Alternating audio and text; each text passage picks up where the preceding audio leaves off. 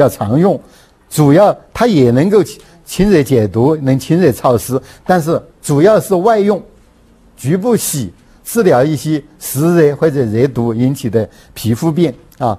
那么这个药呢，大家注意，它是这种白藓这种这种这个芸香科的多年说草本植物的根皮，它这个根皮呢去掉了酸皮是白的，白是它的颜色，鲜呢是它的气味儿，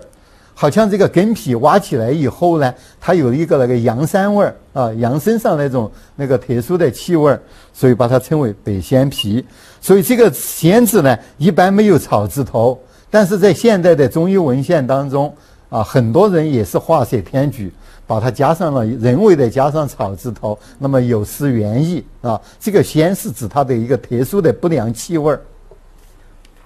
呃，这个清热燥湿药呢，那么就讲这样的一些内容。